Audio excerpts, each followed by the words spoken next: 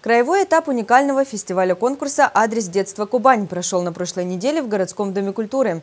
Яркое, красочное представление надолго запомнится как юным зрителям, так и их мамам, папам, бабушкам и дедушкам.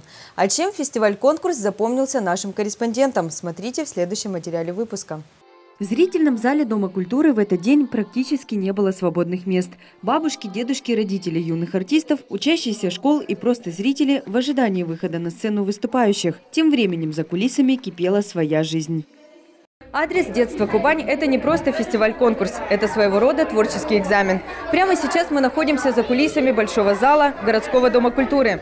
Здесь проходят последние приготовления участников перед выходом на сцену. Все они волнуются, ведь им сегодня предстоит удивить жюри своими выступлениями. Несмотря на переживания участников, нашей съемочной группе удалось пообщаться с некоторыми из юных дарований. Одна из них – участница хореографического ансамбля мечты Екатерина Сороченко. Танцевальные способности девочки ее родители заметили еще в раннем детстве. Я вот танцую уже на протяжении семи лет. Для меня танцы – это жизнь. Этот конкурс для меня очень важен, и мы, я надеюсь, что наш ансамбль победит. Методы в борьбе с волнением перед выходом на сцену у каждого свои. Кто-то оттачивает свой творческий номер во время репетиций, кто-то бережет силы для главного выхода на сцену. А вот воспитанницы детской школы искусств имени Григория Пономаренко Анаид Казарян справиться с эмоциями помогает поддержка старших наставников.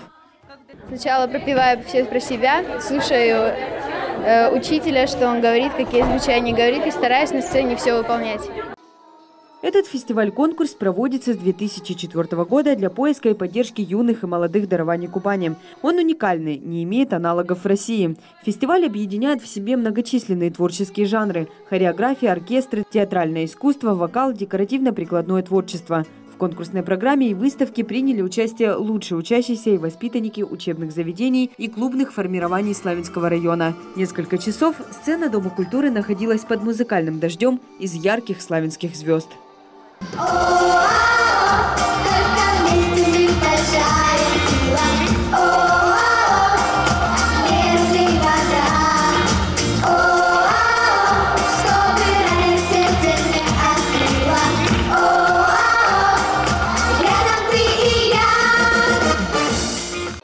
Отборочный этап «Адрес детства Кубань» в Славянском районе стартовал в ноябре прошлого года. В нем смогли принять участие все желающие от 5 до 18 лет. Первый этап прошел на базе домов культуры в поселениях, где побывала районная жюри фестиваля конкурса и выбрала самые яркие таланты. Их оказалось более 500 человек. Дети и молодежь нашего района приняли самое активное участие в фестивале-конкурсе. Более 25 детских художественных коллективов. Представлено свыше 800 работ декоративно-прикладного творчества. Ярким завершением фестиваля стало дефиле барабанщиков.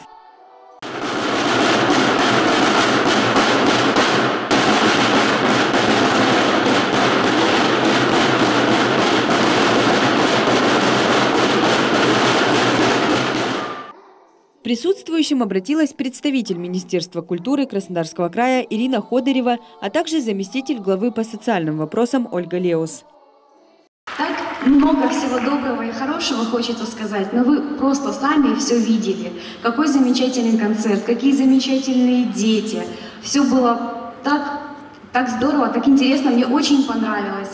А, Хотелось бы сказать большое-большое спасибо всем нашим мамам, всем педагогам, всем преподавателям, всем а, работникам сферы культуры, всем тем, кто прикладывает а, к таким вот концертам а, свое творчество, свое умение, свои знания, кто учит наших детей. Еще раз большое спасибо и низкий поклон. От имени главы нашего района Романа Ивановича Синеговского поздравляю вас с проведением краевого фестиваля «Адрес детства Кубань» в нашем районе. Э, Мы очень благодарны администрации Кубани, Министерству культуры, э, что такой конкурс есть, что он поддерживается и дает возможность проявить свои таланты, показать их на сцене.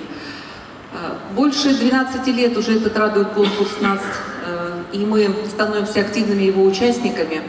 Мы очень любим, наши дети его очень любят, и все ждут и принимают активное участие. Юные артисты и мастера декоративно-прикладного и изобразительного творчества завоевали в копилку побед Славянского района 66 дипломов лауреатов. Для кого-то эта победа – первая ступенька на творческой лестнице успеха. Кто-то неоднократно становился лауреатом фестиваля. Но даже если ребята не свяжут свою судьбу с творчеством, с искусством, а выберут себе другую профессию, они уже сделали большой шаг в своей жизни, посвятили себя высокому искусству. Дина Копачевская, Александр Косицын, Георгий Калинин. Программа «События».